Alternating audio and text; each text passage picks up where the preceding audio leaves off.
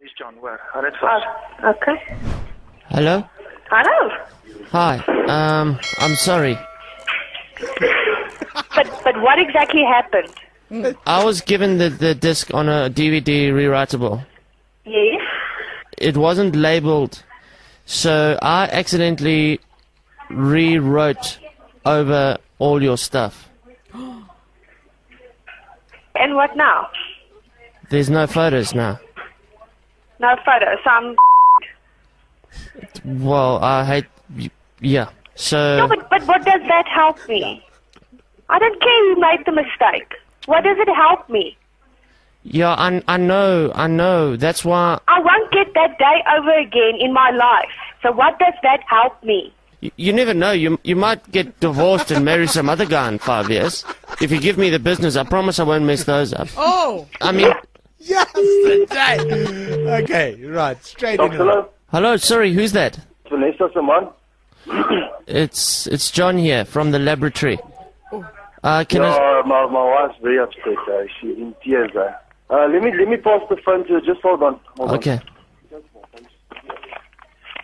Yes. Hello, Vanessa. Yes, John. I'm very sorry. No, but Oh, shame. that doesn't help, my friend. Sometimes sorry doesn't cut it. Okay, look.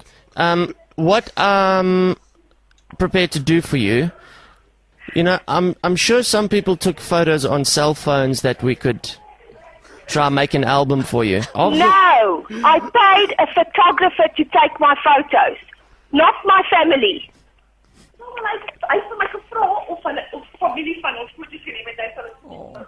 Shame, I feel so sorry. I've got photos of another wedding here. we can take stills of like your faces and of the- No, no. all I need is an ID photo and I can just superimpose. Only problem is this other woman is like about 120 kilograms heavier than you. So when people look at the photos, just say like you had a bit too much wedding cake or something. Yo, Vanessa, I'm gonna stop the pain. It's actually Whackhead. How you doing? Ek is nog nooit Wat is jou And Hoekom ek?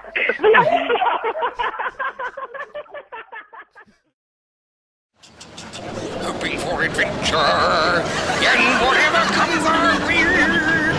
I don't care what happens.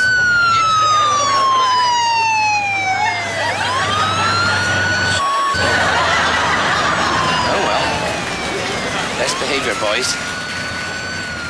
Don't mention Vietnam.